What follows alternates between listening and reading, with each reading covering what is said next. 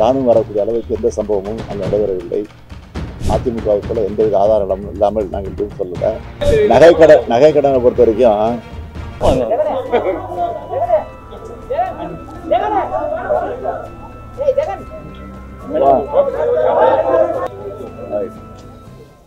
சென்னை மாநகராட்சியினுடைய நூற்றி இருபத்தி ரெண்டாவது வார்டில் என்னுடைய வாக்கு இருக்கு.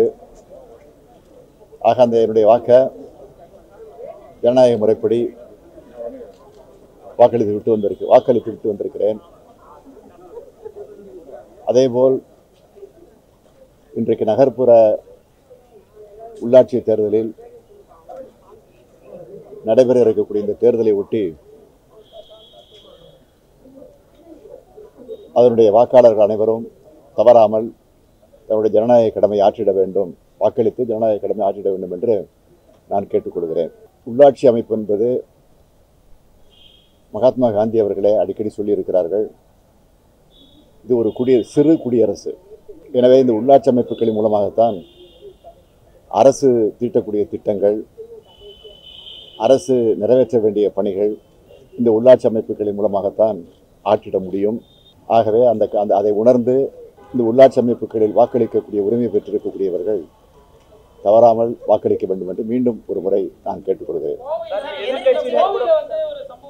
கோவையில் எந்த சம்பவமும் ஏற்பட்டு ஏற்படவில்லை.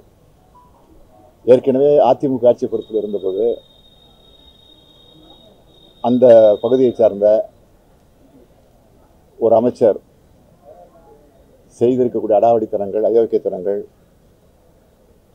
அவை அப்பெல்லாம் அப்பெல்லாம் அதிமுக ஆட்சி நடைபெற்ற போது நடந்திருக்கிறது. ஆட்சி மாற்றம் ஏற்பட்டதற்கு பிறகு அவைகளெல்லாம் கட்டுப்படுத்தப்பட்டிருக்கிறது.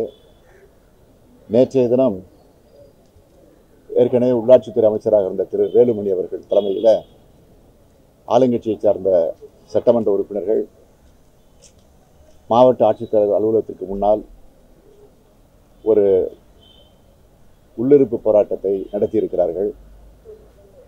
அதற்கு காரணம் என்ன சொல்லுகிறார் என்று சொன்னால் இராணுவம் வர வேண்டும். அதுவரை நாங்கள் இந்த போராட்டத்தை நடத்துவோம் என்று அடம்பிடித்து அடம்பிடித்திருக்கிறார்கள் எந்த சம்பவமும் இராணுவம் வரக்கூடிய அளவுக்கு எந்த சம்பவமும் அங்கே நடைபெறவில்லை. எதற்காக அந்த போராட்டத்தை நடத்தியிருக்கிறார்கள் சொன்னால் தோல்வி பயம் அவர்களை சூழ்ந்துவிட்ட காரணத்தினால் அதை மூடி மறைப்பதற்கு ஏன் தோல்வி அடைந்தோம் என்று பொய்யான காரணங்களை எடுத்து சொல்வதற்காக அவர்கள் நடத்திய நாடகம். அவ்வளவுதான். சார் இப்ப ஒரு சில இடங்கள்ல பண பரிமாற புகார்கள் எதிர்க்கட்சியில் ஈடுபட்டதற்கான சில ஆதாரங்களை கூட வெளியாகிட்டு இருந்தது. பல இடங்கள் இது போன்ற ஒரு புகார்களும் எழுந்திருக்குங்க. ஆதாரங்களை எல்லாம் நாங்கள் கொடுத்துருக்குறோம். அதிமுகவை போல எந்தவித ஆதாரம் இல்லாமல் நாங்கள் எதுவும் சொல்லலை. அதற்கான வீடியோ பதிவு பத்திரிகையில் வந்திருக்கக்கூடிய செய்தி இவைகளெல்லாம் அடிப்படையாக வச்சு முறைப்படி எங்களுடைய வழக்கறிஞர் அணி குழு தேர்தல் கமிஷனத்தில் தெளிவாக புகார் கொடுத்திருக்கிறார்கள். உரிய நடவடிக்கை எடுப்பார்கள்.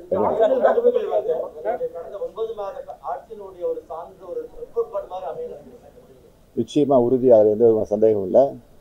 சட்டமன்ற தேர்தலில் எந்த அளவுக்கு ஆர்வமாக இந்த மக்கள் எங்களுக்கு ஆதரவு தந்தாங்களோ அதை விட அதிகமான அளவிற்கு வாக்குகளை ஆர்வத்தோடு வந்து வழங்கி கொண்டிருக்கிறார் என்ற செய்தி வந்திருக்கிறது.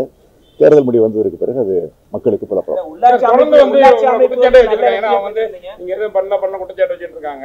அவங்க. நீங்க கூட வந்து புகார் கொடுத்துட்டு மாத்தி மாத்தி அவங்க புகார் கொடுத்துட்டு இருக்காங்க. என்ன பண்ணல? நீங்க கூட எது ஆதாரத்தோடு நாங்கள் ஏதாவது தவறு செஞ்சு அதை ஆதாரத்தோட சொன்னாங்கன்னா எந்த வித நடவடிக்கை எடுப்பதற்கு எங்களுக்கு எந்த வித இப்ப ஆட்சேபனை நகை கடன் தள்ளுபடி விஷயத்த சொன்னாங்க. இப்ப ஆயிரம் நீங்க சொல்லிட்டீங்க இப்போ. சொல்லிருக்கீங்க நீங்க. இப்ப நகை கடன் நகை பொறுத்த வரைக்கும் பல்வேறு அயோக்கியத்தனங்களை கடந்த கால ஆட்சியில் செஞ்சுருக்கிறாங்க. நகையே இல்லாமல் போலி நகையை வச்சு அதில் கடன் வாங்கியிருக்கிறாங்க. ஒருத்தருக்கு அஞ்சு பவுன் தான் கொடுக்கணும்னு ஒரு விதிமுறை இருந்தால் கூட அந்த விதிமுறையை மாதிரி அந்த மாதிரிலாம் வாங்கியிருக்கிறாங்க. சில இடங்களில் நகையும் கிடையாது ஒன்றும் கிடையாது வெறும் பொட்டலம். வெறும் பொட்டலத்தை காமிச்சு அந்த கூட்டுறவு வங்கியில் போய் அந்த கடனெல்லாம் வாங்கியிருக்கிறாங்க. அதையெல்லாம் நாங்கள் கண்டுபிடிச்சி தடுத்து நிறுத்தி முறையாக இப்போ கொடுத்துக்கிட்டு இருக்கிறோம். அதுதான் உண்மை. அதான் நான் சொன்னேன் சட்டமன்ற தேர்தலை விட பல மடங்கு திராவிட முன்னேற்ற கழகம் ஒன்பது மாத காலத்தில் செஞ்சிருக்கக்கூடிய சாதனைகளை அடிப்படையாக வச்சு ஓட்டு போட்ட மக்களுக்கு மட்டும் இல்லை ஓட்டு போடாத தவறிய மக்களும் அதை கொஞ்சம் சிந்திச்சு பார்க்கக்கூடிய அளவுக்கு தவறு பண்ணிட்டோமே அப்படின்னு எண்ணக்கூடிய அளவுக்கு பெரிய வெற்றியும் பெரிய ஆதரவும் இன்னைக்கு நிச்சயமா. மாநகராட்சி மாநகராட்சி பொறுத்த வரைக்கும் எத்தனை மாநகராட்சி? கைப்பற்றீங்க மாநகராட்சி. ஆமா, அனைத்து மாநகர மாநகராட்சி பொறுத்த வரைக்கும் எவ்வளவு மாநகராட்சி திமுக கைப்பற்றும் எங்களுக்கு வர செய்திகளை பொறுத்தா இருபத்தோரு மாநகராட்சிகளும் எங்களுடைய அணிதான் வெற்றி பெறும்.